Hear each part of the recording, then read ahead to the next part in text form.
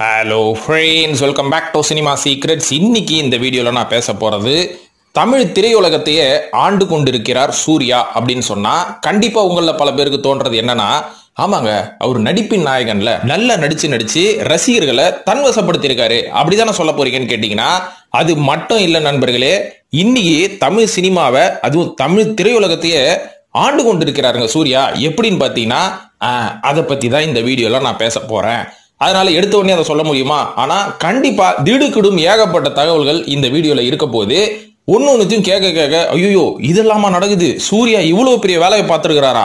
இவ்வளவு பெரிய வேலையை பார்த்துக்கிட்டு இருக்கிறாரா? அப்படின்ற மாதிரி உங்களுக்கே ஒரு ஆச்சரியம் தரக்கூடிய நிறைய நிகழ்வுகளை இந்த வீடியோவில் நான் சொல்ல போகிறேன் அது மட்டும் இல்லாமல் இந்த வீடியோ ஆரம்பிக்கிறதுக்கு முன்னாடி ஒரு விஷயத்தை கேட்டுக்கிறேன் நண்பர்களே. மறக்காம சினிமா சீக்ரெட்ஸை சப்ஸ்கிரைப் பண்ணி ஆதரவு கொடுங்க.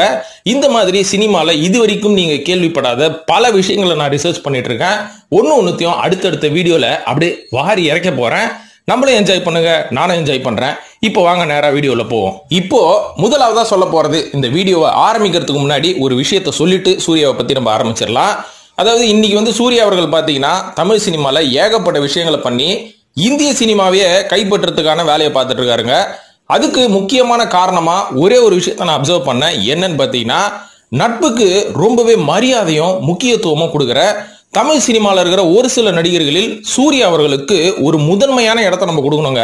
ஏன்னா இன்னைக்கு நம்ம உலகத்தில் வந்து எவ்வளோ பெரிய விஷயங்கள் சாதிக்கிறதா இருந்தாலும் கண்டிப்பாக நம்மளோட பேரண்ட்ஸ் அப்படின்ற ஒரு சப்போர்ட்டையும் தாண்டி நல்ல நண்பர்கள் வாச்சா நம்ம பெரிய லெவலில் சாதிக்கலாம் அதுவும் நம்ம எந்த துறையில் சாதிக்கணும்னு நினைக்கிறோமோ அந்த துறையில் நல்ல நேர்மையான நண்பர்கள் நம்மளுக்கு கிடைச்சாங்கன்னா நம்மளோட வெற்றியை யாராலையுமே தடுக்க முடியாது அப்படின்றது தான் நிதர்சனமான உண்மை. இந்த ஒரு விஷயத்த நல்லா புரிஞ்சுக்கிட்ட நம்ம சூர்யா அவர்கள் சினிமாவில் அவருக்கு எவ்வளவு எதிரிகள் இருந்தாலும் அவரோட ஆரம்ப கால நட்பை இன்னி வரைக்கும் அவர் தொடர்றாரு. அதே மாதிரி ஆரம்ப காலத்தில் அவருக்கு கிடைச்ச அந்த நண்பர்களை ரொம்பவே அழகா அவர் தக்க வச்சுக்கிட்டது மட்டும் இல்லாம அவங்களுக்கும் லைஃப் கொடுப்பாரு. அவங்க மூலயமா இவருக்கும் லைஃப் வரும். ரெண்டு பேரும் ரொம்பவே ஜென்யூனா பழகக்கூடிய பல நண்பர்களை இவர் வந்து சேர்த்து வச்சிருக்காரு அப்படின்றது தான் நிதர்சனமான உண்மை. அதுதான் இவரோட வெற்றியின் ரகசியம்னு கூட நம்ம சொல்லலாம். இப்போ வாங்க சூர்யா அவர்கள் என்னென்ன மாதிரியான விஷயங்களை தமிழ் சினிமாவில் பண்ணி தமிழ் சினிமாவே தன்னோட கண்ட்ரோலில் வச்சிருக்காரு அப்படின்ற அதிர்ச்சி தகவலை பார்ப்போம். இதில் முதலாவது விஷயமே இன்னைக்கு தமிழ் சினிமாவில் பெரிய பெரிய படங்களை தயாரிக்கக்கூடிய ஒரு சில நிறுவனங்களில் சூர்யா அவர்களுக்கு நிறைய ஷேர்ஸ் இருக்கு. அது மட்டும் இல்லாம நேரடியா அவரோட சொந்தக்கார பசங்களே வந்து இங்க பெரிய பெரிய ப்ரொடக்ஷன் ஆரம்பிச்சு பெரிய பெரிய படங்களை தயாரிச்சிட்டு இருக்காங்க பாஸ் அதுல கண்டிப்பா நான் இப்ப சொன்ன ஒரு சில பேருக்கு என்ன தெரியும்? ஆமா கேஇ ஞானவேல் ராஜா அப்படின்ற ஒரு பெரிய ப்ரொடியூசர் அதாவது ஸ்டூடியோ கிரீன் அப்படின்ற ப்ரொடக்ஷன் கம்பெனியோட ஓனர் கேஇ ஞானவேல் ராஜாவே சூர்யா அவர்களுக்கு சொந்தக்கார முறை தானங்க சொந்தக்காரர் தானங்க அவரு? அதாவது சூர்யா அவர்களின் தந்தையான சிவகுமார் அவர்களோட நெருங்கிய உறவினரோட மகன் தான் கே ஞானவேல் ராஜா அவர்கள். இப்போ அவர் வந்து ஸ்டூடியோ கிரீன் அப்படின்ற ஒரு ப்ரொடக்ஷன் கம்பெனி ஆரம்பிச்சு கிட்டத்தட்ட ரெண்டாயிரத்தி ஆறாவது வருஷம் ஆரம்பிச்சு இன்னைக்கு சக்ஸஸ்ஃபுல்லாக ஏகப்பட்ட படங்களை வந்து அவர் தயாரிச்சுட்டும் இருக்காரு.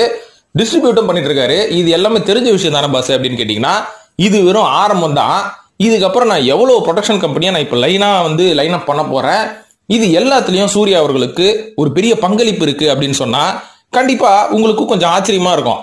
இப்போ இந்த ஸ்டூடியோ கிரீன் எப்போ ஆரம்பிச்சது? சூர்யா அவர்களோட அசூர வளர்ச்சி வந்து எப்போ ஆரம்பிச்சது அப்படின்னு பார்த்தீங்கன்னா ஆரம்பத்தில் என்னதான் சூர்யா அவர்கள் ஏகப்பட்ட படங்களில் வித்தியாசமான கதாபாத்திரங்கள் பண்ணாலுமே கூட அவருக்கு நடிகர் அப்படின்ற ஒரு அந்தஸ்து கிடைச்சதே தவிர ஒரு பெரிய மாஸ் அப்பில் அவருக்கு கிடைக்க ஆரம்பிச்சது எல்லாமே ரெண்டாயிரத்தி ஆறாவது வருஷம் ஜோதிகா அவர்களை திருமணம் செஞ்சதுக்கு அப்புறம் தான் எல்லாமே ஆரம்பிச்சது அப்படின்னு நான் சொல்லுவேன்.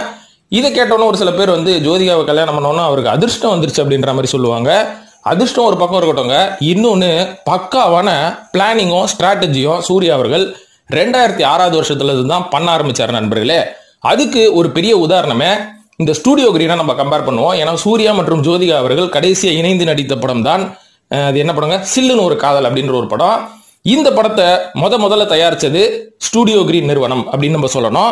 ஏன்னா ஸ்டூடியோ கிரீன் நிறுவனம் வந்து அன்னைக்கு நிறுவப்பட்ட உடனே முத முதல்ல இவங்க தயாரிச்ச படமே சூர்யா அவர்களின் படம் தான் அதுவும் சில்லுன்னு ஒரு காதல் படம் தான் அந்த டைம்ல சூர்யா அவர்கள் ஒரு மாபெரும் நடிகராக வளர்ந்து கொண்டிருக்கும் அந்த காலகட்டத்திலேயே அவர் சம்பாரிச்ச பணத்தெல்லாம் வச்சு மற்றும் அவரோட இன்வெஸ்ட்மெண்ட்டை வந்து அவர் வந்து வேற எங்கேயும் கொடுக்காம அவரோட பேர்ல வந்து ஒரு ப்ரொடக்ஷன் கம்பெனி அவர் ஆரம்பிக்காம அவரோட சொந்தக்காரர் ஞானவேல் ராஜாவை கூப்பிட்டு அவரோட ஓரளவுக்கு பங்களிப்பும் கொடுக்கறது. மற்றும் ஞானவேல் ராஜா அவர்கள் கூட ஒன்றும் ஜீரோ அமௌண்ட்ல வந்திருக்க மாட்டாரு.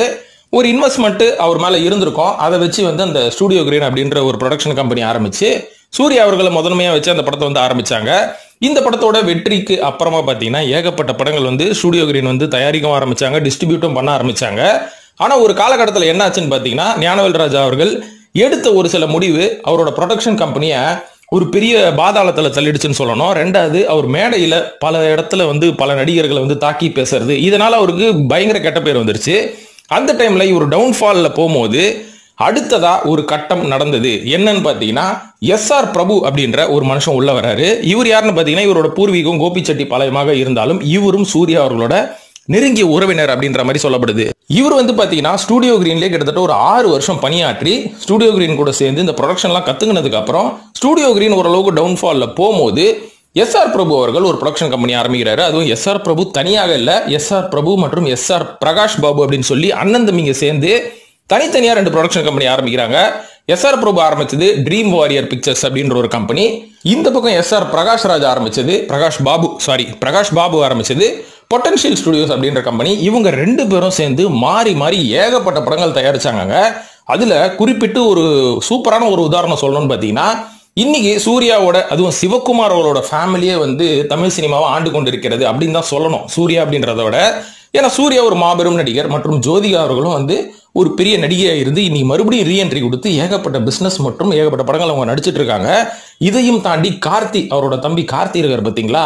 இவரை பத்தி ஒரு விஷயம் சொல்றேன். இவர் இன்னி வரைக்கும் பாத்தீங்கன்னா கிட்டத்தட்ட ஒரு தொண்ணூறுல இருந்து தொண்ணூத்தஞ்சு பர்சன்ட் இவரோட படங்கள் எல்லாமே இவர் ஸ்டூடியோ கிரீன் மற்றும் ட்ரீம் வாரியர்ஸ் பிக்சர்ஸ்க்கு மட்டும்தான் இவர் நடிச்சு கொடுத்துருக்காருன்னு சொன்னா உங்களுக்கு எவ்வளவு ஆச்சரியமா இருக்கும்? என்ன பாஸ் சொல்ற? உண்மையா பாஸ் இதெல்லாம்? அப்படின்ற மாதிரி கேட்டீங்கன்னா ஆமாம்ப்பா நீங்க வந்து அவரோட லிஸ்ட் ஆஃப் பிலிமோகிராஃபி எல்லாத்தையும் எடுத்து பாருங்க. கிட்டத்தட்ட அவரோட முதல் படமே பருத்தி வீரனே பார்த்தீங்கன்னா ஸ்டுடியோ கிரீன் ப்ரொடக்ஷன் தான். அதுக்கப்புறம் இன்னைக்கு கைதியிலிருந்து இப்போ பண்ணார் பாருங்க கடைக்குட்டி சிங்கம் எல்லாமே பார்த்தீங்கன்னா வந்து ட்ரீம் வாரியர்ஸ் மற்றும் ஸ்டுடியோ கிரீன் தான் வந்து அவரோட படத்தை தயாரிச்சிருப்பாங்க. கொஞ்சம் மிஞ்சி மிஞ்சி போனால் என்ன மெட்ராஸ் டாக்கிஸ் நடு தயாரிச்ச ஒரு சில படங்கள்லேயே ஒரு நடிச்சிருப்பாரு. பொன்னியின் செல்வன் அதுக்கப்புறம் நாங்கள் அந்த ஃப்ளைட் ஜெட்டு ஓட்டு வர என்ன படம்? காற்று வெளியிட இந்த மாதிரி படங்கள் அதுக்கப்புறம் அந்த ஓப்பேரி அதுனா தோழா ஏன் இந்த படம்லாம் வந்து ஒரு வேற ஒரு ப்ரொடக்ஷனில் நடித்தார் ஏன்னா அது வந்து பைலிங்குவல் ஃபிலிம் மற்றும் மணிரத்னம் அவர்கள் இவரோட காட்ஃபாதர் அப்படின்றனால அவரோட ப்ரொடக்ஷனில் அவர் நடித்தார் இதையும் தாண்டி அவர் நடித்த பல படங்கள் 95% ஃபைவ் பர்சன்ட் படங்கள் எல்லாமே சூரிய கிரீன் மற்றும் ட்ரீம் வாரியர்ஸ் பிக்சர்ஸ் தயாரிச்சது தான். இது என்ன பிரமாதம் பாஸ் அதாவது அவர்கிட்ட காசு இருக்கு அப்படின்னீங்கன்னா காசு இருக்கு பாஸ் ஆனா இன்னி கார்த்தி அப்படின்ற ஒரு பெரிய நடிகரை வளர்த்து விட்டதோட பங்களிப்பு சூர்யாக்கு எப்படி இருக்கோ அதே மாதிரி ஸ்டூடியோ கிரீன் மற்றும் ட்ரீம் வாரியர்ஸுக்கு இருக்கு. இதுக்கு இன்னொரு ஒரு முக்கியமான காரணமா என்ன சொல்றாங்க அப்படின்னு பாத்தீங்கன்னா சூர்யா அவர்கள் என்னதான் நல்லா நடிச்சு பணம் சம்பாதிச்சாலும் மாஸ்டர் மைண்ட் எல்லாமே ஜோதிகாவாம அப்படியா? அப்படின்னு கேட்டீங்கன்னா உண்மையாக இருக்கலாம். இதை சொன்ன உடனே ஒரு சில பேருக்கு ஒரு டவுட் வரும். ஏங்க ஜோதிகாவுக்கு லைஃப் கொடுத்ததே வந்து நம்ம சூர்யா தாங்க. ஐய சூர்யாவுக்கு லைஃப் கொடுத்ததே ஜோதிகா தான் அப்படின்ற ஒரு பெரிய விவாதம் போவோம் இன்னைக்கு யூடியூப்ல வளர்ச்சி வளர்ச்சி பேசுற ஒரு சில பேரே வந்து அன்னைக்கு என்ன நடந்தது அப்படின்றத வாய் வழியா ஒரு ரூமர்ஸா வரதை தான் அடிச்சு விட்டுன்னுக்குறாங்க. உதாரணத்துக்கு சொல்லணும்னா காக்கா காக்கா அப்படின்ற ஒரு படம் வந்து சூர்யா நடிச்சிருப்பாரு. இந்த படத்துக்குள்ள சூர்யா எப்படி வந்தாருன்னு கேட்டால் எல்லாருமே அதான் இப்போ நான் சொன்னேனே இந்த பெரிய பெரிய யூடியூபர்ஸ் சொல்றது இல்லைங்க சூர்யா அவர்களுக்கு அப்போ வாய்ப்பே இல்லை. ஜோதிகா அவர்கள் வந்து அந்த காக்கா காக்கா படத்தில் கமிட் ஆனதுக்கப்புறம் கௌதம் மேனகிட்ட ரெக்கமெண்டேஷன் பண்ணி சூர்யா உள்ளே கொண்டு வந்தாங்கன்னுவாங்க. ஆனால் இன்னைக்கு தெரியாத ஒரு விஷயம் என்ன தெரியுங்களா? சூர்யா அவர்கள் தான் ஜோதிகாவை அந்த படத்துக்குள்ள கூட்டிட்டு வந்தார். எப்படி அப்படின்றத சொல்கிறேன் அதாவது சூர்யா அவர்கள் முத முதல்ல ஜோதிகா கூட சேர்ந்து இணைந்து நடித்த அந்த படத்தின் பெயர் எனக்கு ஞாபகம் இல்லை. தெரிஞ்சால் கொஞ்சம் சொல்லுங்கள் கையில் எதுவும் பேப்பருக்கு போறலாம் என்கிட்ட இல்லை. ஸோ அந்த படத்தில் நடிக்கும் போது ஃபஸ்ட்டு சூர்யா அவர்கள் ஒரு ஷை டைப் ஒரு இன்ட்ரோவெட்டுன்னு சொல்லுவாங்க. ரொம்ப பேச மாட்டார் யாரு கூடயும். ஆனால் ஜோதிகா வந்து ஒரு வடநாட்டு பெண். அவங்க வந்து ரொம்ப ஜோவியலாக எல்லார்கிட்டையும் பேசுவாங்க. அப்போ சூர்யா அவர்கள் கூட அவங்க நடிக்க முத முதல்ல வரும்போது இவர் ரொம்ப உம்முன்னு இருந்தாராம். அப்போ தான் வந்து டேரக்டர் சொன்னாராம் இவர் தான் ஹீரோ இவர் பேர் வந்து சரவணன் சூர்யா இவர் இவர் கூட தான் நீங்கள் நடிக்க போகிறீங்கன்னொன்னே அவங்களும் பொறுத்து பொறுத்து பார்த்துருக்காங்க. ஜோதிகாவை இவர் வந்து பேசுவார் ஹலோ வச்சம் சொல்லுவார். நானா மனுஷன் ஓரமாக போய் உட்காந்துருந்தாராம் அப்புறம் பொறுமையை இழந்த ஜோதிகா என்ன பண்ணியிருக்காங்க நானே போய் பேசுறேன்னு சொல்லிட்டு ஹலோ சார். என் பேர் ஜோதிகா. நான் பாம்பேலேருந்து வந்திருக்கேன். இந்த மாதிரி சோன் சோ நக்மாவோட சிஸ்டர் எப்படின்னு அவங்கள இன்ட்ரடியூஸ் பண்ண உடனே அப்புறம் நம்ம சூர்யா வாயை பொழந்து கட கட கட கடன்னு பேசிட்டு இருக்கிறாரு. இவங்க ரெண்டு பேருக்குள்ளேயும் ஒரு நல்ல நட்பு வந்திருக்கு. இவங்க ரெண்டு பேருக்குள்ளேயும் ஒரு நல்ல நட்பு வந்ததுக்கு அப்புறம் சூர்யா அவர்கள் நடிக்கக்கூடிய பல படங்கள்ல வந்து ஜோதிகா அவர்கள் ரெக்கமெண்ட் பண்ணியிருக்காரு. இது மட்டும் இல்லாம ஆரம்பத்துல இவர் வந்து நம்ம மாதவன் அவர்கள் கூட சேர்ந்து ஆயுத எழுத்து படம் பண்ணாரு. அதுக்கப்புறம் இவங்க ரெண்டு பேரும் சேர்ந்து பெப்சி ஆடுக்கு வந்து ஒன்னா நடிக்கும் போது இவங்க ரெண்டு பேரும் நல்ல நண்பர் ஆகிட்டு இருக்கிறாங்க. அப்போ பார்த்தீங்கன்னா அன்னையிலிருந்து தொடர்ந்த நட்பு இன்னி வரைக்கும் தொடர்ந்துட்டு இருக்கு உதாரணத்துக்கு ராக்கெட்ரி அப்படின்ற ஒரு படத்தை மாதன் அவர்கள் டைரக்ஷன் பண்ணும்போது ஃப்ளைட் சார்ஜ் ஹோட்டல் சார்ஜ் எதுவுமே வாங்காம இவரோட சொந்த காசுலேயே ஃப்ளைட்டை போட்டு காசே வாங்காம அந்த படத்தில் நடிச்சு கொடுத்தாராம் சூர்யா அவர்கள். ஏன்னா அந்த அளவுக்கு நட்புக்கு ரொம்ப முக்கியத்துவமும் மரியாதையும் கொடுக்குறவர் தான் சூர்யா. சரி இந்த டாபிக்கு சம்மந்தமே இல்லாம நட்பை பத்தி நீ பேசிட்டு இருக்க அப்படின்னு கேட்டீங்கன்னா வரேன். இதுக்கும் நம்ம டாபிக்குக்கும் ஒரு சம்மந்தம் இருக்கு. பேச பேச தெரிஞ்சுப்பீங்க. ஓகே இப்போ வந்து இந்த ஸ்டூடியோ கிரீன் பத்தி பேசியாச்சு. ட்ரீம் வாரியர்ஸை பற்றி பேசியாச்சு பொட்டன்ஷியல் ஸ்டுடியோவை பற்றி பேசியாச்சு. இதையும் தாண்டி வேறு என்ன பாஸ் இருக்குது அப்படின்னு பார்த்தீங்கன்னா ஞானவேல் ராஜா இருக்கார் பார்த்தீங்களா இவர் ஆரம்பத்தில் ஸ்டூடியோ கிரீன் ஆரம்பித்ததோட கூடவே சேர்ந்து ட்ரீம் ஃபேக்ட்ரின்னு ஒரு கம்பெனி ஆரம்பிச்சாருங்க. அதோட உரிமையாளர் அப்படின்னு சொல்லிட்டு வெளியில் இவங்க காமிக்கிறது சக்தி வேலைன்னு ஒருத்தரை காமிப்பாங்க. ஆனால் அதுக்கு பின்னாடி ஒரு ஆறு தலைங்க இருக்கிறாங்க. ஞானவேல் ராஜா மட்டும் இல்லாமல் சசிகாந்த் சி வி குமார் எல்ரட் குமார் அப்புறம் அபியன் அபி அபினாஷ் அப்படின்றவர். அதுக்கப்புறம் பிரின்ஸ் பிக்சர்ஸ் லக்ஷ்மணன் இவங்க எல்லாருமே சேர்ந்து தான் இந்த ட்ரீம் வாரியர்ஸ் அப்படின்ற அதாவது ட்ரீம் ஃபேக்ட்ரி அப்படின்ற ஒரு ப்ரொடக்ஷன் கம்பெனி ஆரம்பித்தாங்க இதில் வந்து ஏகப்பட்ட படங்களை டிஸ்ட்ரிபியூட் பண்ண ஆரம்பிச்சாங்க. இதுலேயும் ஒரு பங்களிப்பு. எப்படி கே ஞானவேல் ராஜாக்கு இருக்கோ அதே மாதிரி சூர்யா அவர்களுக்கும் இல்லாமையாக இருக்கும். இது மட்டும் இல்லாமல் ஞானவேல் ராஜா ஸ்டூடியோ கிரீன் அப்படின்ற ஒரு கம்பெனியை தாண்டி அதனா ஹார்ட்ஸ் மற்றும் ப்ளூ கோஸ்ட் பிக்சர்ஸ் அப்படின்ற இரண்டு நிறுவனங்கள் ஆரம்பிச்சாங்க. இதன் மூலயமா இவர் என்ன பண்ணாருன்னு பாத்தீங்கன்னா அதனா ஆர்ட்ஸ் மூலயமா ஒரு சில படங்கள் வந்து அதுவும் குறிப்பா சூர்யா நடித்த படங்கள் வந்து இவர் கோ ப்ரொடியூஸ் பண்ண ஆரம்பிச்சாரு. எதுக்குன்றதை யோசிச்சு பாருங்க.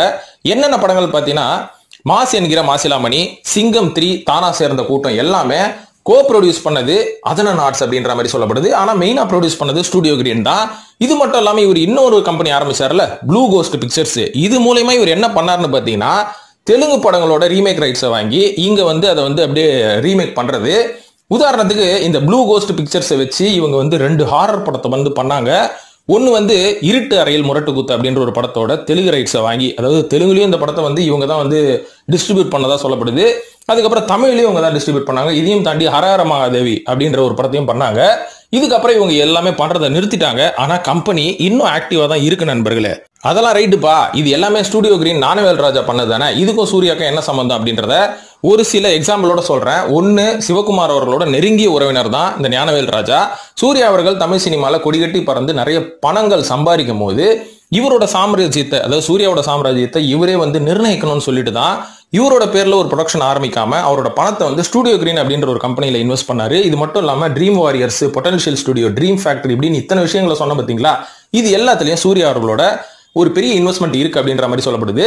ஓகே ஞானவேல் ராஜான்றது அவங்க ஊர்ல இருந்து வந்து இங்க பழைக்க வந்தவர் தானே அப்படின்னு கேட்டீங்கன்னா இல்லங்க சூர்யா கூட சூர்யாவோட ஸ்கூல்லயே சின்ன வயசுல இருந்து ஒன்னா படிச்சிருக்காங்க ஏன்னா சூர்யா அவர்கள் சென்னையில சென்ட் பீர்ஸ் அப்படின்ற ஒரு ஸ்கூல்ல தான் படிச்சாரு.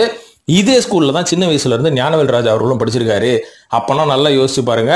இவங்க ரெண்டு பேருக்குள்ள உறவு அப்படின்றதையும் தாண்டி எவ்வளோ நெருக்கம் இருக்கும். அது மட்டும் இல்லாமல் ஏற்கனவே நான் சொல்லிட்டேன் நம்ம நடிகர் கார்த்தி அவர்களோட தொண்ணூத்தஞ்சு பர்சன்ட் படங்கள் எல்லாமே ஸ்டூடியோ கிரீன் மற்றும் ட்ரீம் வாரியர்ஸ் தயாரிச்சது.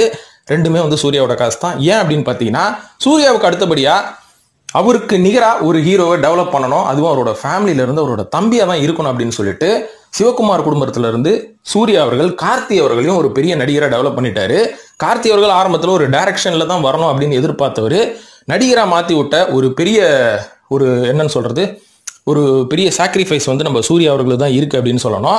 ஏன்னா பருத்திவீரன் படத்துலயும் வந்து ஒரு கன்வின்ஸே ஆகலையா நடிகிறதுக்கு ஆனால் கன்வின்ஸ் பண்ணி நடிக்க வச்சுட்டாங்க. முதல் நீ நடி உனக்கு ஹீரோ அங்கீகாரம் கிடைச்சதுக்கு அப்புறம் நீ எந்த வயசுல வேணாலும் டைரக்ஷன் பண்ணுன்னு சிவகுமாரும் அட்வைஸ் பண்ணியிருக்காரு. இது மட்டும் இல்லாம சூர்யா அவர்கள் இன்னொரு விஷயத்திலையும் இன்னொரு சினிமா சம்பந்தப்பட்ட விஷயத்திலையும் இன்வெஸ்ட் பண்ணியிருக்காருங்க. அது என்னன்னு பாத்தீங்கன்னா ஹீரோ டாக்கிஸ் ப்ரொடக்ஷன் அப்படின்ற மாதிரி சொல்றாங்க. இந்த ஹீரோ டாக்கிஸ் ப்ரொடக்ஷனோட வேலை என்ன தெரியுங்களா? அப்படியே சொன்னா ரொம்ப ஆச்சரியமா இருக்கும் உங்களுக்கு. இங்க இருந்து நிறைய தமிழ் படம் மற்ற லாங்குவேஜ் படங்களை வந்து நம்ம ஓவர்சீஸ் ரைட்ஸுக்கு வித்துருவோம் பார்த்தீங்களா இந்த ஓவர்சீஸ் ரைட்ஸுக்கு விற்கப்பட்ட படங்களை வந்து இவங்க வாங்கி வெளிநாட்டில் இருக்கிற என்ஆர்ஐ ஆடியன்ஸ் இருக்காங்க பாருங்க. இவங்க யூஸ் பண்ணக்கூடிய இந்த iOS Android Apple TV Amazon Fire TV அப்படின்ற மாதிரி இந்த ஆப்லலாம் கொண்டு போய் அந்த படத்தை சேர்க்கறது டிஜிட்டல் பிளாட்ஃபார்ம்ல ஸோ இதில் வந்து என்ஆர்ஐ ஆடியன்ஸை கவர் பண்ணுறதுக்காகவே தயாரிக்கப்பட்ட ஆரம்பிக்கப்பட்ட நிறுவனம் தான் ஹீரோ டாக்கிஸ் ப்ரொடக்ஷனு இந்த ப்ரொடக்ஷனோட சேர்ந்து சூர்யா அவர்களும் ஒரு பெரிய இன்வெஸ்ட்மெண்ட்டை கொடுத்துருக்காரு டூ டி என்டர்டைன்மெண்ட் கம்பெனியில இருந்து அப்படின்ற மாதிரி சொல்லப்படுது. இதுவும் சினிமா சம்பந்தப்பட்ட ஒரு பெரிய இன்வெஸ்ட்மெண்ட் தாங்க. இந்த இன்வெஸ்ட்மெண்ட்னால சினிமாவில் என்ன நடக்க போகுது அப்படின்னு பார்த்தீங்கன்னா இங்கே தமிழ் சினிமா இண்டஸ்ட்ரியை வந்து இவ்வளோ ப்ரொடக்ஷன் கம்பெனி ஆரம்பித்து சூர்யா அவர்கள் ஓரளவுக்கு வந்து கைப்பற்றி விட்டார். இதையும் தாண்டி ஓவர்சீஸில் என்ஆர்ஐ ஆடியன்ஸையும் இவர் பிடிக்கிறதுக்கு இந்த மாதிரியான ஹீரோ டாக்கேஸ் ப்ரொடக்ஷன் அப்படின்ற ஒரு கம்பெனிலையும் பெரிய இன்வெஸ்ட்மெண்ட் அங்கே வச்சிருக்காரு. இதையும் தாண்டி ஜோதி அவர்களோட தம்பிகள் இருக்காங்க பார்த்தீங்களா சூராஜ். இவரே பார்த்தீங்கன்னா பாம்பேல ஒரு டிவி சீரியல் ப்ரொடியூசரா அங்கே வந்து அவர் ஏகப்பட்ட இன்வெஸ்ட்மெண்ட்டை பண்ணிட்டு இருக்காரு. இப்போ இதெல்லாம் சொன்ன உடனே கண்டிப்பாக ஒரு டாபிக் உங்கள் மைண்டில் ஞாபகம் வரும். ஆமாம் பாம்பேன்னு சொன்ன உடனே ஞாபகம் வருது. பாம்பேல சூர்யா அவர்கள் எழுபது கோடி ரூபாய் வீடு வாங்கியிருக்கிறாராம சம்பாரிச்சதெல்லாம் இங்கே இன்வெஸ்ட் பண்ணுறது அங்கேயே அப்படின்னு கேட்டிங்கன்னா அதுக்கு ஒரு விளக்கம் தரேன். சூர்யா அவர்கள் தமிழ்நாட்டோட நிற்கிறது கிடையாது. அவரோட ஃபேன் பேஸ் வேற லெவலில் கேரளாலையும் ஆந்திராலையும் இருக்குது அதனால தான் அவரோட படங்கள் இன்றைக்கும் பார்த்தீங்கன்னா ரிலீஸ் ஆச்சுன்னா இந்த ரெண்டு ஸ்டேட்லேயும் சக்கப்போடு போடுது. நார்த் இந்தியா விட்டுற முடியுமா? இன்னைக்கு நார்த் இந்தியாவை கைப்பற்றுறதுக்கு எத்தனை சவுத் இந்தியன் ஆக்டர்ஸ் போட்டி போட்டிருக்காங்க? அது தெரியுமா? நம்ம சும்மா இன்வெஸ்ட்மெண்ட் அவர் அங்கே பண்ணிட்டு இருக்காரு ஹிந்தி தெரியாது போடான்றாரு அப்படின்றதெல்லாம் வேறங்க. இங்கே ஹிந்தி தெரியாத பல பேர் வந்து இந்தியாவே ஆண்டிருக்கிறாங்க. அவங்களோட பேரெல்லாம் லிஸ்ட் எடுத்து நம்ம இப்போ சொன்னோம்னா இது அரசியல் சேனல் ஆயிடும். நீங்களே கூகுளில் சர்ச் பண்ணி பாருங்கள் அது மாதிரி சூர்யா அவர்களோட ஏகப்பட்ட இன்வெஸ்ட்மெண்ட்ஸு மும்பையில் இருக்குது குறிப்பாக கூடிய சீக்கிரம் பாலிவுட்டையும் ஒரு கைப்பற்றிடுவார் அப்படின்ற மாதிரி சொல்லப்படுது. அதுக்கு முக்கியமான ஒரு ஸ்மார்ட்டான மூவி இவர் என்ன தெரியுங்களா பண்ணாரு? இங்க நம்ம பெரிய பெரிய நடிகர்கள்னு சொல்லக்கூடிய ஒரு சில நடிகர்களை அவங்க படத்தை நடிச்சு முடிச்சதுக்கு அப்புறம் அந்த படம் என்ன ஆச்சு ஏதாச்சுன்றதை பத்தி கவலைப்படுறது இல்ல. அதுக்கப்புறம் ஒரு நல்ல அதாவது இவ்வளவு நடிகர்களுக்கு இவ்வளவு பெரிய அமௌண்ட்டை கொடுத்துட்டாங்க இல்லைங்களா? நூறு கோடிக்கு மேல சம்பளத்தை கொடுத்தாச்சு. போட்ட காசை எடுக்கணும். அதனால வந்த விலைக்கு இந்த படத்தை டப்பிங் ரைட்ஸு ரீமேக் ரைட்ஸு எல்லாத்துக்கும் கொடுத்துரும் அப்படின்ற மாதிரி தான் ப்ரொடியூசர்ஸ் இருந்தாங்க. ஆனால் சூர்யா அவர்கள் என்ன பண்ணாருன்னு பார்த்தீங்கன்னா அவரோட சூரரை போன்ற படத்தை முத முதல்ல உடான் அப்படின்ற பேரில் வந்து அங்கே டப்பிங் பண்ணி ரிலீஸ் பண்ணார். அங்கே ரிலீஸ் ஆனதுக்கப்புறம் அந்த படத்துக்கு அமோக வரவேற்புங்க. அதுக்கு முன்னாடி வரைக்கும் சூரரை போற்று படத்துக்கு ஒரு பெரிய ரீமேக் ரைட்ஸ் உரிமைக்கு ஒரு பெரிய அமௌண்ட்டோட வந்தாங்களாம். ஒரு ஆஃபர் சூர்யா அவர்கள் அதை மறுத்துட்டு இருக்கிறாரு இவ்வளோ பெரிய ஆஃபர் கொடுத்தாலும் நான் அந்த படத்தை கொடுக்க மாட்டேன். எனக்கு வேற ஒரு பிளான் இருக்குன்னு சொல்லிட்டு தான் அந்த படத்தை அந்த காலகட்டத்தில் ஓடிடி தளத்தில் உடான் அப்படின்ற பேரில் இவர் வந்து டப்பிங் பண்ணி விட்டோன்னே சூர்யா யாருன்னு அங்கே பெரிய லெவலில் தெரிய ஆரம்பிச்சிருச்சு. சூர்யான்றவர் இவ்வளோ பெரிய நடிகரா? அவர் நடித்த படங்களை தான் நம்ம ஆளுங்க ரீமேக் பண்ணி சிங்கம் அது இதுன்னு போட்டு இங்கே நவுத்திட்டு இருக்கிறானுங்களான்ற மாதிரி ஒரு கியூரியாசிட்டியை கிரியேட் பண்ணதுக்கப்புறம் இப்போ என்ன பண்ணுறாருன்னு பார்த்தீங்கன்னா இப்போ இந்த சூரரை போற்று படத்தை இவரே ரீமேக் பண்ணுறாருங்க இவரோட ஓன் ப்ரொடக்ஷனில் அப்போ பிளானிங் எந்த அளவுக்கு இருக்குது பாருங்க. ஆனால் இன்னைக்கு நம்ம தமிழ் சினிமாவில் நூறு கோடி ரூபாய்க்கு மேலே சம்பளம் வாங்குறவங்க அவங்க படம் என்ன ஆச்சு யார் ரீமேக் பண்ணிட்டு இருக்கான்றதை பற்றி கவலைப்படுறதில்ல. இதன் காரணமாக தான் இங்கே இருக்கிற பெரிய ஹீரோக்கள் படம் அதாவது ரஜினிக்கு அப்புறம் இருக்கக்கூடிய பெரிய பெரிய ஹீரோக்கள் படம்லாம் நார்த்தில் வேலையே மாட்டேங்குது. இப்போ இந்த சூரரை போட்டு படத்தை பாலிவுட்ல ரொம்பவே ஃபேமஸாக இருக்கக்கூடிய விக்ரம் மல்ஹோத்ரா அப்படின்ற ஒரு ப்ரொடக்ஷன் கம்பெனியோட அதாவது அபுடன்டியா என்டர்டைன்மெண்ட் அங்கே வந்து அவர் நிறைய படங்கள் வந்து ப்ரொடியூஸ் பண்ணியிருக்காரு. அவரோட சேர்ந்து தான் சூர்யா அவர்கள் ப்ரொடியூஸ் பண்ணுறாரு அதுவும் அக்ஷய் குமார் வச்சு பண்ணுறாரு அப்படின்ற மாதிரி சொல்லப்படுது. இதையும் தாண்டி நார்த்தில் மட்டும் சூர்யா அவர்களுக்கு கிட்டத்தட்ட இரநூறு கோடி ரூபாய் இன்வெஸ்ட்மெண்ட் இருக்குங்களாங்க. இது மட்டும் இல்லாமல் அங்கே இருக்கிற அந்த ஏர்போர்ட் பார்க்கிங் லாட்டை இவர் வந்து குத்தகைக்கு எடுத்துருக்கிறாரா? அதுவும் பாம்பே மட்டும் இல்லை சென்னை திருச்சி மதுரை இந்த ஏர்போர்ட்டில் இருக்கிற பார்க்கிங் லாட்டை இவர் எடுத்துட்டு இதிலிருந்து மட்டும் மாதம் அவருக்கு இருபது கோடி ரூபா லாபம் வருதுன்றாங்க. எப்படி மனுஷன் வளர்ச்சி போடுறாரு பாருங்க. இது மட்டும் இல்லாமல் ஜோதிகா மூலம் ஜோதிகா மூலன்றிய ஜோதிகாவோட மூலம் இங்கே எங்கே வேலை செஞ்சது அப்படின்னு பார்த்தீங்கன்னா இவர் வடநாட்டு அதாவது பாலிவுட் சினிமாவை பிடிக்கிறதுக்கு ரொம்ப உறுதுணையாக இருக்கிறது ஜோதிகா அவர்கள் தான் இந்த பிளானில் தான் அவங்க அங்கே போயிருக்காங்க. ஆனால் இப்போ மீடியாவில் எப்படி சொல்கிறாங்கன்னா தந்தையை பிரிந்து சென்று விட்டார் சூர்யா அவர்கள். சூர்யா அவர்கள் வந்து அவரோட அப்பா அம்மா மேலே அபார ஒரு பாசம் இருக்கக்கூடிய ஒரு மனிதர். அவ்வளோ சீக்கிரம் விட்டுட்டு போகிறதுக்கு வாய்ப்பே கிடையாது. இன்னொன்னு சொல்கிறேன் இன்னைக்கு பல பேர் நம்பிட்டு இருக்கோம். ச்சே நம்ம எஸ்எஸ்சி அவர்களுக்கும் விஜய் அவர்களுக்கும் எவ்வளோ பெரிய தகராறு? மனசு ரொம்ப கஷ்டமா இருக்குப்பா. ஆ? அவ்வளோ பெரிய தந்தையை வந்து மதிக்காத இவருக்கு எதுக்கு நூறு கோடி சம்பளம்? இப்படின்ற மாதிரி நம்ம வருத்தப்படுறோம் இல்லைங்களா? இது உண்மையே கிடையாது. இதுக்கு முன்னாடி வேற ஒரு விஷயம் நடந்துட்டு இருக்கு இந்த மாதிரியான விஷயங்களெல்லாம் நான் யூடியூப்ல பார்க்கும்போது எனக்கு சிரிப்பு வரும். அட பாவிங்களா ஃபேன்ஸ் எப்படிலாம் டைவர்ட் பண்ணிட்டு இருக்கீங்கன்னு எல்லாமே அரசியல் நண்பர்களே நம்பாதீங்க. ஏன்னா எனக்கு என்ன நடக்குதுன்னு தெரியும். சரி வாங்க இந்த டாபிக் உள்ள வரேன். ஸோ இப்போ சூர்யா அவர்கள் வந்து தந்தையை பிரிந்தெல்லாம் போய் பாம்பேக்கு போல இரநூறு கோடி ரூபா ஒருத்தன் இன்வெஸ்ட் பண்ணிட்டு சும்மா இங்கேயே உட்காந்து இருப்பானுங்க அங்கே போய் வேலையை பார்க்க வேணாம். அப்போதானே இந்தியாவே கைப்பற்ற முடியும். ஒரு தமிழ் இந்தியாவை கைப்பற்றினா பெருமை தானங்க? அப்படி யோசிச்சு பாருங்க. இப்போ அதே மாதிரி சூர்யா அவர்கள் வேற எந்த வழியில இந்த தமிழ் சினிமாவை வந்து வேற லெவலுக்கு கொண்டு போனார் அப்படின்னு பார்த்தீங்கன்னா ரெண்டாயிரத்தி இருபதாவது வருஷம் இந்த கொரோனா வந்தப்போ அந்த பேண்டமிக்ல எல்லாத்தையும் க்ளோஸ் பண்ணிட்டோம் நம்ம. தேட்டர் கிட்டலாம் இப்போ கிடையவே கிடையாது. இப்போ அந்த ஓடிடின்னு ஒரு பெரிய வர வரப்பிரசாதம் வந்ததுக்கு அப்புறம் பார்த்தீங்கன்னா இன்னைக்கு சின்ன சின்ன ஃபிலிம் மேக்கர்ஸுக்கும் ஒரு பெரிய பிளாட்ஃபார்ம் கிடைக்குது. அவங்களோட திறமைகளை அவங்க வெளில காமிச்சிட்டு இருக்காங்க. இந்த ஒரு விஷயம் அன்னைக்கே வெளிநாட்டில் வந்து ரொம்ப பாப்புலராக இருந்தது. ஆனால் இந்தியாவுக்குள்ள வரவேற்கவே முடியல. குறிப்பாக தமிழ்நாட்டுக்குள்ள இந்த ஓடிடின்றதை வரவேற்க முடியாத ஒரு சூழ்நிலை இருந்தது. ஏன்னா இங்க இருக்கிற தேட்டர் ஓனர்ஸ் மற்றும் டிஸ்ட்ரிபியூட்டர்ஸ் பெரிய லெவலில் ஆண்டு கொண்டிருந்தார்கள். குறிப்பாக சொல்லணும்னு பார்த்தீங்கன்னா இங்க இருக்கிற தேட்டர் ஓனர்ஸ் மற்றும் டிஸ்ட்ரிபியூட்டர்ஸ் தான் இந்த படம் ஓடணும் இந்த படம் ஓடக்கூடாது இந்த படத்துக்கு இவ்வளோ கொடுக்கணும் இவ்வளோ தேட்டர்ஸ் கொடுக்கணுன்றத நிர்ணயிக்கிறது. நீ எப்பேற்பட்ட படம் வேணாலும் எடு உன் மூளையை கசக்கி புரிஞ்சு எடுத்தாலும் இவங்க வைக்கிறது தான் சட்டம்ன்ற மாதிரி இருந்தது. இதை உடைக்கிறதுக்கு சூர்யா அவர்கள் கரெக்டான டைம் பார்த்துட்டு இருந்தாரு. அப்பதான் இந்த பேண்டமிக் வந்தப்போ இவரோட சூரரை போட்டு படத்துக்கு அமேசான் பிரைம்ல இருந்து ஒரு பெரிய அவுட் ரேட்டுக்கு ஒரு நல்ல அமௌண்ட் வந்தது. அவுட் ரேட்னா என்னன்னு பார்த்தீங்கன்னா இன்றைக்கி அமேசானில் உங்களோட படத்தை வந்து நீங்கள் ஒரு சின்ன பட்ஜெட் படம் எடுத்து விற்கிறீங்கன்னா எடுத்த உடனே முழு காசை கொடுத்து வாங்கிட மாட்டானுங்க. யூடியூப் மாதிரி எவ்வளோக்கு எவ்வளோ ரன் ஆகுதோ எவ்வளோக்கு எவ்வளோ ஆட் ரன் ஆகுதோ அதுக்கேற்ற மாதிரி நம்ம சிக்ஸ்டி ஃபார்ட்டி அப்படின்ற மாதிரி ஷேர் பண்ணிப்போம் அப்படின்ற மாதிரி தான் இன்றைக்கி சின்ன படங்களோட நிலைமை. ஆனால் அன்னைக்கு சூர்யா அவர்களோட ஆஃபர் எப்படின்னு பார்த்தீங்கன்னா முழு பணத்தையும் கொடுத்துட்றேன் படத்தை கொடுத்துருங்க அப்படின்ற மாதிரி அமேசான் வாங்குச்சு. சூர்யா அவர்களும் நல்ல விலைக்கு வந்தனால இந்த படத்தை வந்து பெரிய லெவலில் விற்றாரு பெரிய லெவலில் ப்ரமோட் ஆச்சு. அது மட்டும் இல்லாமல் ஓடிடி அப்படின்ற ஒரு விஷயம் வந்து ஓப்பன் ஆச்சு. இதுக்கப்புறம் ரெண்டாயிரத்தி இருபதுலேருந்து கிட்டத்தட்ட இருபத்தி ரெண்டாவது வருஷம் வரைக்கும் ஓடிடி தலாம் கிட்டத்தட்ட தமிழ் படங்கள் ஒரு முந்நூறுக்கும் மேற்பட்ட சின்ன பட்ஜெட்டு மீடியம் பட்ஜெட் பெரிய படங்களை வாங்க ஆரம்பிச்சாங்க. ஏன்னா அவங்களுக்கு மூவி லைப்ரரி வேணும். அதுக்காக வாங்க ஆரம்பிச்சாங்க. நிறைய படங்கள் நல்ல சேலுக்கு போச்சு அப்படின்ற மாதிரி சொல்லப்படுது.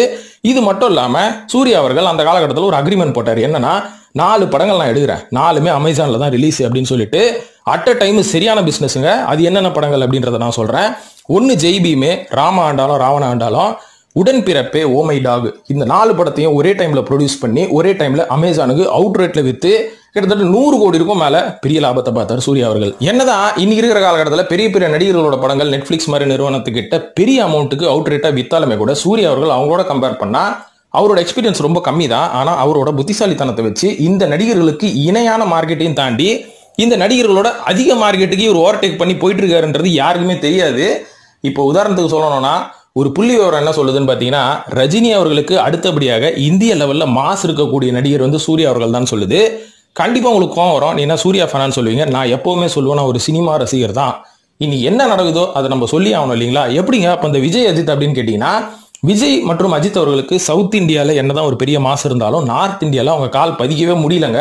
அதுக்கு காரணம் அவங்க நடித்த படங்களை அவங்க கைவிட்டு போகிறது தான் ஆனால் சூர்யா அவர்கள் அவரோட படங்களை வந்து கடைசி வரைக்கும் நின்று இந்த படத்தோட தயாரிப்பாளர் நஷ்டமாகக்கூடாது அது மட்டும் இல்லாமல் இந்த படம் ஒரு படம் நடிச்சாலும் உருப்படியாக நடிக்கிறோம். இது வேற லெவலில் போகணுன்ற வரைக்கும் இவர் ஒர்க் பண்ணுவாராம். இதனால தான் பார்த்தீங்கன்னா சமீப காலமாக சூர்யா அவர்கள் அவரோட சொந்த நிறுவனத்திலேயே வந்து டூ டி என்டர்டைன்மெண்ட் அதை சொல்ல மறந்துட்டேன் பார்த்தீங்களா இத்தனை ப்ரொடக்ஷனை சொன்னேன். டூ டி என்டர்டைன்மெண்ட்டை மறந்துட்டேன்.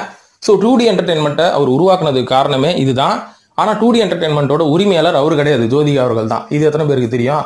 தெரியும் நிறைய பேருக்கு. எதனால் ஜோதிகா பேர் வச்சாருன்னா அதான் ஜோதிகா மூலைன்னு சொல்லிட்டேனே டம்னு இல்லையா? இதுக்கு மேலே என்ன எதிர்பார்க்குறீங்க? ஸோ அதனால தான் வந்து இந்த மாதிரியான விஷயங்கள்லாம் சூர்யா அவர்கள் பண்ணிட்டு இருக்காரு அதனால தான் ரஜினிக்கு அடுத்தபடியாக சூர்யா அவர்கள் தான் இந்திய மார்க்கெட்டை பிடிச்சிருக்காரு. இது ஒரு சிறந்த உதாரணம் தெரியுமா சொல்லலாம்? இப்போ லியோ மற்றும் கங்குவா இந்த ரெண்டு படம் வருது. லியோவோட கம் கம்பேர் பண்ணால் ப்ரீ ரிலீஸுக்கு அதிக அமௌண்ட்டுக்கு கங்குவா வந்து சேல் ஆயிருக்கு அப்படின்ற மாதிரி சொல்றாங்க. ஏன்னா கங்குவா வந்து கிட்டத்தட்ட ஐநூறு கோடி ரூபாய்க்கு ப்ரீ ரிலீஸ் சேல் ஆயிருக்கான். ஆனா லியோ நானூறு கோடி ரூபாய் வரைக்கும் இப்போ கலெக்ஷன் ஆயிருக்கு. அதாவது ப்ரீ ரிலீஸ் ஆஃபர் வந்திருக்கு அப்படின்ற மாதிரி சொல்றாங்க. சேல் ஆயிட்டு இருக்குது அப்படின்ற மாதிரி தான் சொல்லப்படுது. இதை வச்சு நம்ம இவங்க ரெண்டு பேர்ல யார் சிறந்த நடிகர் அப்படின்றதெல்லாம் நம்ம இப்போ பேச போறதே கிடையாது. யார் வந்து சிறந்த பிஸ்னஸ் மேன் தமிழ் சினிமாவை கட்டி ஆள்றது யாரு அப்படின்ற டாபிக்காக தான் இந்த கம்பாரிசனை ஏன்னா விஜய் அவர்களுக்கும் நிறைய ரசிகர் பட்டாளமே இருக்குது. சூர்யா அவர்களுக்கும் ரசிகர்கள் இருக்காங்க. அதனால இந்த ரசிகர் ஃபேன் வார்ஸ்லாம் இங்கே அவசியமே கிடையாது. அதை நல்லா புரிஞ்சுக்கோங்க நண்பர்களே. தமிழ் சினிமாவை ஆண்டு கொண்டு இருப்பது யார்? இப்போ இதெல்லாம் வச்சு பார்க்கும்போது சூர்யா கிட்ட இவ்வளோ ப்ரொடக்ஷன் கம்பெனி இருக்குது ஓடிடி தனம் அமேசான்றத ஒரு உரிமையை கூட இவர் வாங்கியிருப்பாரு. ஒரு பெரிய இன்வெஸ்ட்மெண்ட் கூட அவர் அங்கே போட்டிருப்பாரு. ஸோ பாலிவுட்டையும் கைப்பற்ற போகிறாரு இன்னைக்கு தமிழ் சினிமாவில் இவ்வொரு சார்ந்த ப்ரொடக்ஷன் கம்பெனி தான் பெரிய பெரிய படங்களையும் பண்ணிட்டு இருக்காங்க. ஸோ இந்த மாதிரியான விஷயங்களை வச்சு தான் சூர்யா அவர்கள் இன்னைக்கு இந்தியாவில் ஒரு பெரிய ஸ்டாராக வளர்கிறதுக்கான பல விஷயங்கள் அவர் பண்ணிட்டு இருக்காரு இதையும் தாண்டி இன்னும் நிறைய விஷயங்கள் அவருக்கு பின்னாடி போயிட்டு இருக்கு அதெல்லாம் என்னன்றதுன்னா அடுத்த வீடியோவில் சொல்கிறேன் இந்த வீடியோவில் நான் சொன்ன தகவல்கள் எல்லாமே நீங்களும் செக் பண்ணி பாருங்கள் ஏன்னா இது வந்து என்னோட சோர்ஸில் நான் விசாரித்த விஷயங்கள். இதையும் தாண்டி ஒரு சில விஷயங்கள் உங்களுக்கு தெரியும்னா மறக்காமல் கமெண்ட் செக்ஷனில் போட்டு நம்ம சினிமா சீக்கிரட்ஸையும் சப்ஸ்கிரைப் பண்ணிட்டு ஃபாலோ பண்ணுங்க நண்பர்களே. நன்றி.